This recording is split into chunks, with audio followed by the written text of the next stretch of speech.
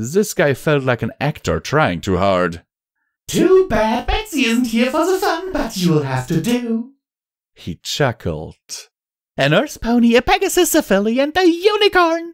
We really have a full house, so Miss Hero, any last words? A nurse pony, a Pegasus, a filly, and a unicorn. We really have a full house, so Miss Hero, any last words? I looked back